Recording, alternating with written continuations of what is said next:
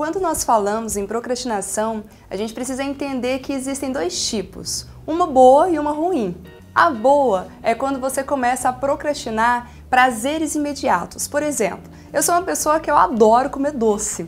Mas quando eu penso, nossa, vou ficar um mês inteiro sem comer doce, eu começo a sofrer por conta disso. Mas se eu pensar, daqui a pouco eu como, e nisso, no intervalo, eu bebo uma água, como uma fruta, logo passa vontade e eu consigo resistir a essa tentação.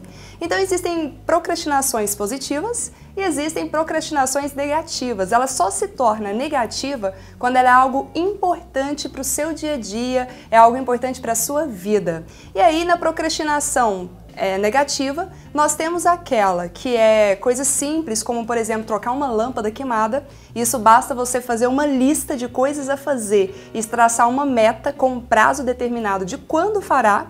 Existe aquela procrastinação de coisas mais complexas. Geralmente nós tendenciamos mais a essa, como um relatório complicado ou até mesmo uma monografia.